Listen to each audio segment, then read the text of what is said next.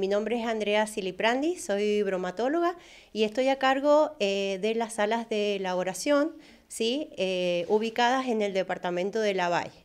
Eh, esta sala que hoy, en donde hoy nos encontramos es la sala de San Francisco. Sala, hemos comenzado con el proceso de elaboración de tomate triturado. Este proceso de elaboración ya tiene como una trayectoria. Este programa comenzó con un programa de autoconsumo en donde se trabaja ¿sí? Con eh, productores em, de la zona, en donde los productores em, plantan los plantines que van a proporcionar la materia prima para después suministrar esa materia prima en las salas de elaboración.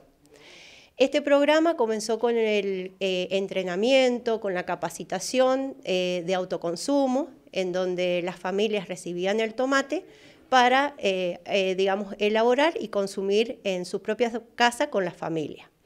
Eh, ambicionando y teniendo un horizonte mucho más ambicioso con este proyecto, ahora se plantea, digamos, el, el, proyecto de elaboración, ¿sí? elaboración y comercialización de este producto. En primera instancia o en la primera etapa, nosotros estamos en la elaboración de tomate triturado, eh, nuestro camino, nuestras perspectivas también es hacer alimentos de bajo riesgo, como lo que son confituras, mermeladas, dulces eh, y demás.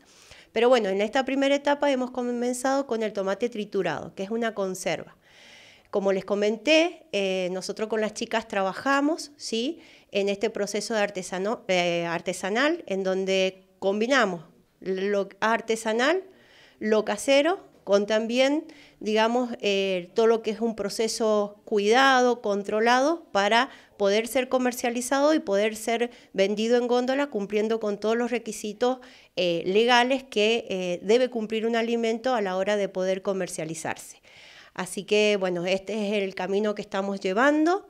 y bueno, seguramente que es un proceso, proyecto ambicioso, como les dije.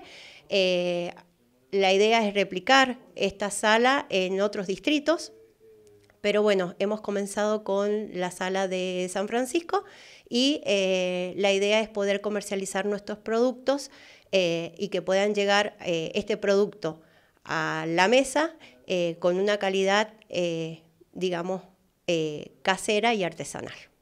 Nosotros elaboramos conserva. les voy a contar un poco lo que hemos hecho hasta ahora, que es la salsa. Eh, cuando eh, nosotros llega el tomate, lo descargamos y el día de la elaboración lo, lavamos, lo pasamos después al escaldado, que lo pasamos por agua caliente, de ahí lo traemos, lo, le sacamos la parte fea, todo lo que es el, lo que quede, después que hicimos la revisión, quede podrido o algo así, se lo sacamos Después lo cortamos en cuatro y lo pasamos a la moledora. Eh, después de la moledora sale el tomate, eh, sale ya el triturado. Le echamos eh, la corrección con ácido cítrico y, de ahí ya lo envasamos. Lo llenamos las botellas y tapamos. Una vez tapado lo llevamos afuera a los tachos y hacemos el baño María que el baño María lo hacemos después que rompa el hervor, lo dejamos 40 minutos. Y después sacamos las botellas una vez que, se pasaron los 40 minutos, eh, sacamos el agua, dejamos enfriar y sacamos ya en caliente. Después que se enfrían las botellas, la, hacemos el, el etiquetado.